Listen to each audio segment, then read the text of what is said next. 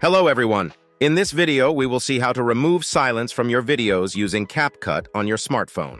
So, let's get into it. First of all, open the CapCut app on your phone by tapping on the icon. Once it's open, let's start a new project. Tap on Create Project. It will open your mobile phone gallery. Pick a video from your gallery. Once you select the video, then from the right bottom, tap on Add. Now play the video to have a quick preview of what we'll be working on. To remove silence, tap on Text from the bottom menu, then select Auto Caption.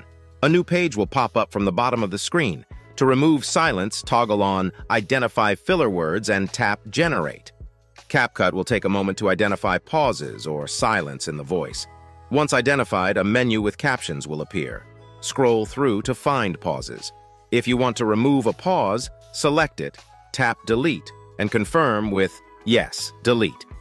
Once you're done, tap Done in the top right corner of the menu. And there you have it. That's how you can easily remove silence from your videos using CapCut. If you found this video useful, please show your support with a like. Your feedback is invaluable to us, so feel free to share your thoughts and suggestions in the comments section below. We're eager to hear from you.